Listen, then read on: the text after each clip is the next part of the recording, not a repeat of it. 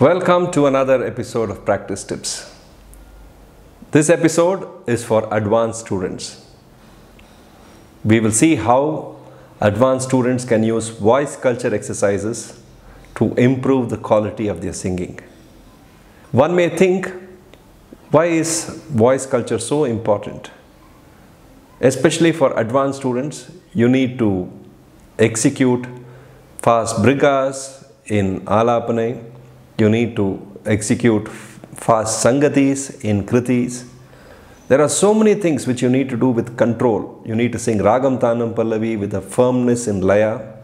So strength in laya, strength in shruti or the perfect swarasthanas and the precision, absolute precision is very important. So these exercises will help you achieve that precision. Many students who are now in the Manodharma stages generally tend to forget about the Varnams or whatever is learned before that. Just like a student who's going to 8th standard, the beginning of 8th standard you ask him a question from the 7th standard, blank, I don't know. After the exam is written, it's all over, done and dusted, it's kept inside. we need to know everything we learned from kindergarten, carry it forward with us even at the advanced stages of what we do because that is going to be the pillar of our support. Even in music, whatever we learn in the basic exercises, these are going to be our uh, practice tools. These are going to be strengthening us every day. We can use them to polish, give shine to our performance on a daily basis. I remember when I used to go for tours with the eminent violinists or mridangis, especially violinists for now, we will, uh, my experience with them.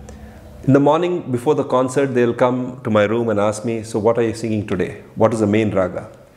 So, if I say that I'm going to sing Keeravani, after some time, after we talk, they go back to the room, and then I can see that they are practicing Keeravani in all intensity, right from the Sarali Varsai, Jantai Varsai, in multiple speeds.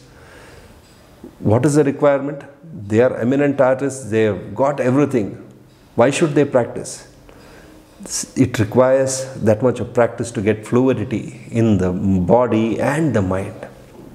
What the mind wants, the body should be able to deliver. For example, there may be a Sangati which the mind really desires to execute, but if the, the body, the voice is not ready, we'll fall flat. So, it is very important that the body and mind work together. We will now talk about use of Varnams as a practice tool for advanced students. Generally, we sing Varnams in two kalas, two speeds. Here we will sing the Varnams in five kalas or five speeds. So generally in a Varnam, in the first kala, every beat has two swaras or two pulses or two matras. Here we are going to have the second speed as a Tishra Gati, where we are going to sing every beat in with three pulses or three swaras. So two swaras per beat, three swaras per beat. The next one will be four swaras per beat and next will be the Tishra male kala which will be Tishra double speed or six swaras per beat and the fifth speed or fifth kala will have eight swaras per beat. So five kalas in this order. When we are singing Tishra here it will not repeat three times because for example we will take for today's practice Ninnu Kori Varnam, Ninnu Kori in Mohana Raga. So in the Pallavi, Anupallavi and Muktayaswara, the lines are easily divisible by 3. In Tishra, every 3 line, three lines come in one tala. So it's perfectly divisible, so it all comes in one repetition. It won't come in three, three repetitions as in any other piece which we saw in the Swaravali or whatever it is. In Varnams, for example, where there are different odd number of lines, for example, there are 16 lines say from Anupallavi to Muktayaswara. We require two more lines to make it divisible by 3. We sing the first two lines twice.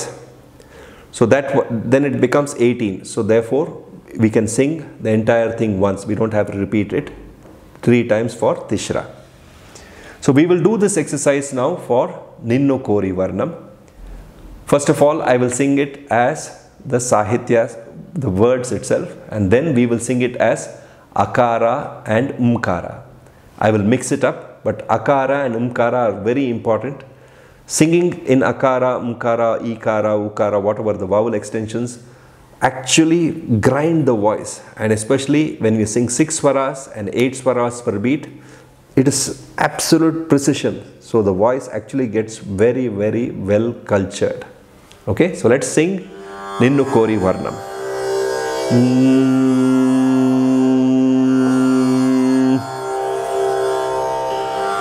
ನಿಲ್ನು ಕೋರಿ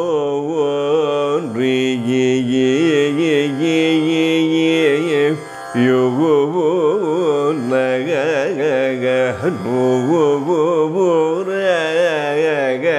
ನೀ ಲಗ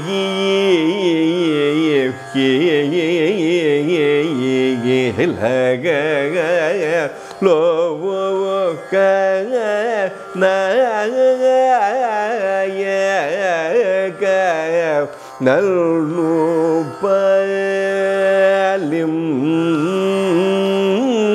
ப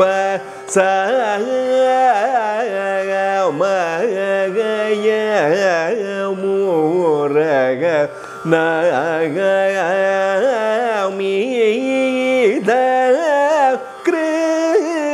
கிருபகஜூ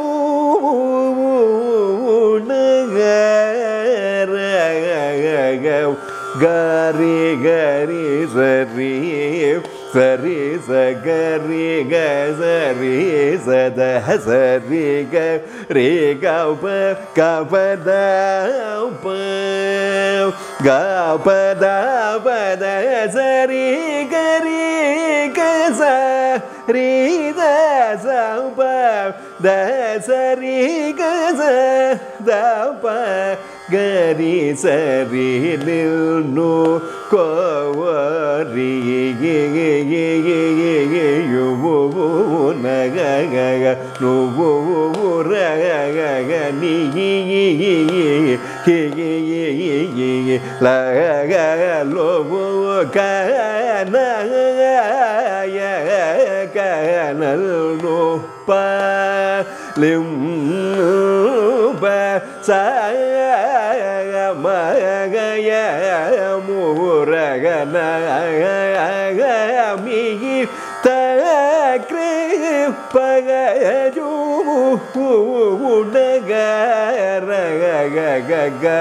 gari gari sari sari sa gari ga sari sa da sari ga re ga pa ga pa da pa ga pa da pa da sari gari ga sa ri da sa pa da sa ri ka sa da pa ga ri za ri ni lu ko wo ri ye ye ye ye ye ye yo na ya ha no wo wo ra ya ga ni ye ye ye ye ye ye ye ye ye ye la ga ga lo ka ga na ya ya ga ya ya ka ya na no pa lu pa sa ga ga ma ga ga ಗಯ ಗಮೂರಗನ ಗಯ ಮೀದ ಕ್ರೇಗ ಬಗ ಜೋ ಹುಮು ಬುಡಗ ಹರ ಗ ಗ ಗ ರಿ ಗ ರಿ ರ ರಿ ಸರಿ ರ ಗ ರಿ ಗ ಸರಿ ಸ ಧ ಸರಿ ಗ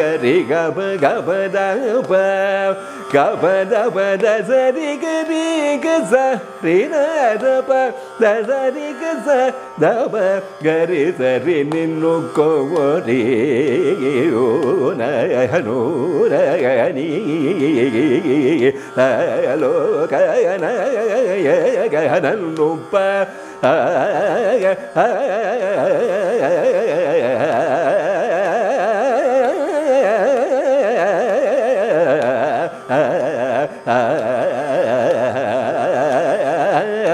Ah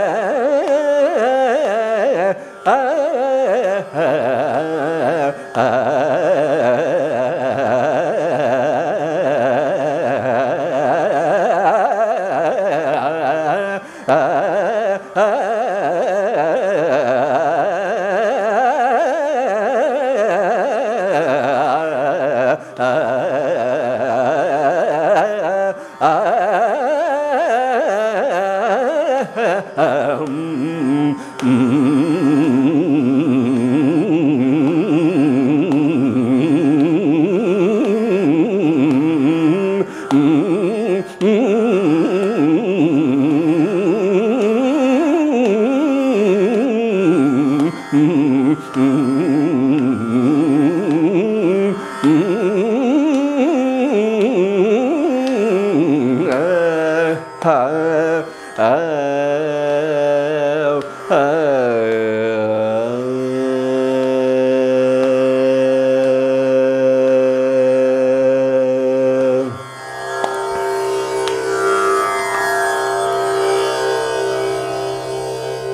If we all practice at least one varnam every day in the morning before we start our regular practice in this way in five kalas that to akara umkara if you can practice more varnams great. You your voice will just be ready to do anything your mind says.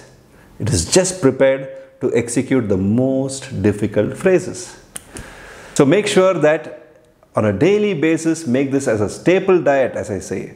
Everyday practice, everyday practice of Varnams in five kalas. Practice Atatala Varnams, Aditala Varnams.